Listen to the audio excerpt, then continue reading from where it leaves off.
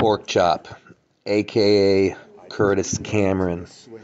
I'll give you guys a little bit of a backstory on this guy as you watch him crush a lot of the high hookers. Curtis has not been arm wrestling a long time. I think like two years. Time time is all screwed up for me, but hey, like I don't think it's even been three. I think two years or so he's been pulling. The first time I met this guy was at a tournament that Eric put on. Saw him over in the corner. I'm like, oh, there's a bodybuilder. Went over and I was like, have you ever done this before? And he's like, no, just with my friends. I'm like, okay, good to know. All my kids entered, my wife entered, everybody won. They made me into the tournament. I have a match with Curtis. I line up to hit him as hard as I can. First match of the day for me, right hand. I hit him as hard as I could, and he stopped me about an inch from the pad. First time ever on an arm wrestling table. I was like, who is this guy? Uh, and right afterwards, I go over to my buddy Jeff Slater, and I'm like, Jeff, that this guy is ridiculous. He's like, oh my god watch what he's going to do with Alexander Paquette. Alexander Paquette is the na- well, he was the best guy in Quebec at the time. His first tournament ever without any arm wrestling experience, Curtis gets in like a 30 second war with the provincial champion and he ruins the guy's day.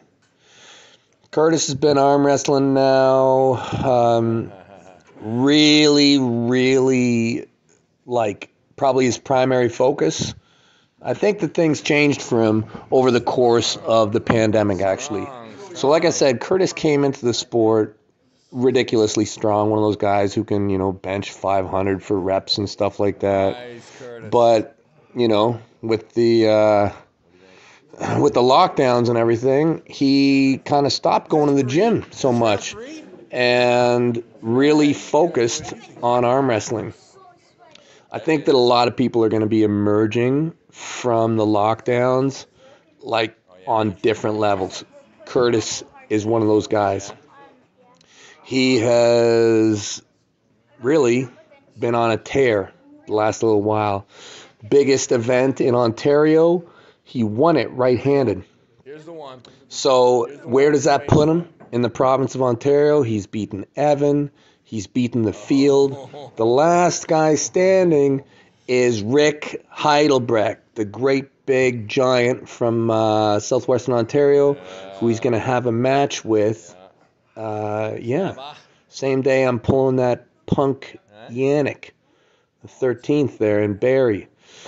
Anyways, uh, keep your eyes on this dude. He is undoubtedly making waves. Uh, rookie All Star.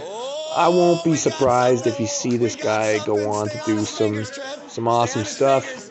Uh, I'll post a link below. You can check him out on Instagram. The dude just trains like a machine. Yeah. Pork chop, aka Curtis.